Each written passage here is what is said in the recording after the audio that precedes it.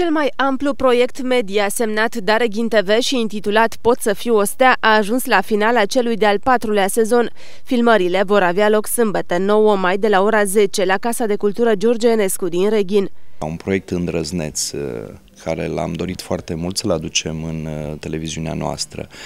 Uh, area de selecție s-a extins, participarea a ajuns la nivel județean și asta ne bucură în primul rând, e o încântare pentru noi, foarte mulți copii talentați din Reghin, din zona de pe Valea Mureșului, de pe Valea Gurghiului, de pe Valea Becii și iată și din Târgu Mureș au venit înspre noi.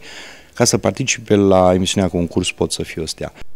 Premiile oferite de Dare Ghinteve în calitate de organizator constau în bani. Acestea vor fi acordate în urma stabilirii clasamentului final, o ierarhie pe care o va contura juriul concursului.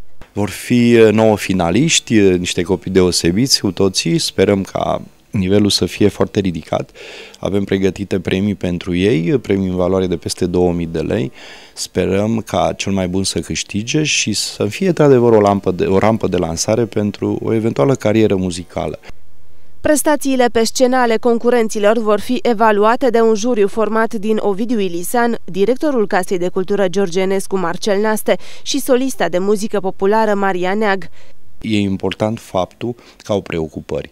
Bucuria de a cânta, bucuria muzicii, aplecarea părinților, grija părinților pentru, pentru ei, toate preocupările cotidiene, au făcut foarte multe repetiții, au, și-au îmbunătățit uh, repertoriul, uh, au luat unii lecții de canto. Asta ne bucură faptul că au, uh, sunt foarte prinși în acest proiect, la care, cum spuneam, noi ținem foarte mult, un proiect de suflet.